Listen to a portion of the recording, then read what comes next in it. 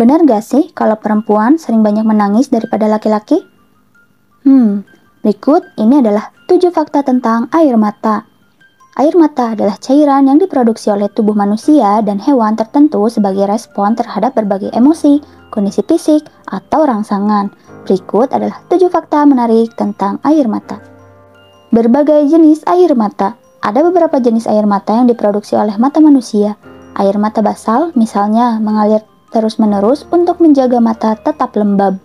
Air mata refleks diproduksi sebagai respon terhadap rangsangan fisik, seperti debu atau sinar matahari yang terlalu terang. Lalu ada air mata emosional.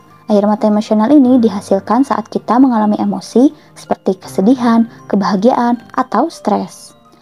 Komposisi air mata Air mata mengandung campuran air, garam, enzim, dan protein. Air mata basal yang terus-menerus mengandung komposisi yang berbeda dari air mata emosional yang diproduksi dalam situasi tertentu. Air mata basal yang terus-menerus mengandung komposisi yang berbeda dari air mata emosional yang diproduksi dalam situasi tertentu. Fungsi pelindung Air mata memiliki peran penting dalam menjaga kesehatan mata. Air mata basal membantu melumasi mata dan menghindari iritasi dan infeksi.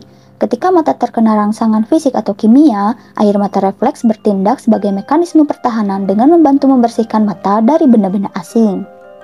Fungsi emosional Air mata juga memiliki fungsi emosional yang penting. Mengeluarkan air mata saat kita merasa sedih, stres, atau bahagia bisa menjadi cara alami untuk mengurangi tekanan emosional dan mengkomunikasikan perasaan kita kepada orang lain.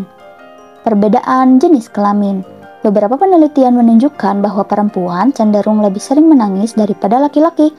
Ini mungkin terkait dengan faktor hormon dan perbedaan dalam ekspresi emosional.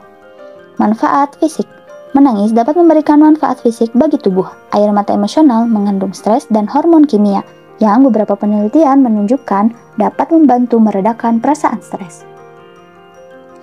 Variasi budaya Cara orang merespon dan mengekspresikan air mata dapat bervariasi secara budaya. Beberapa budaya mungkin lebih menghargai ekspresi emosi terbuka, sementara yang lain mungkin lebih cenderung menahan ekspresi emosional di depan umum.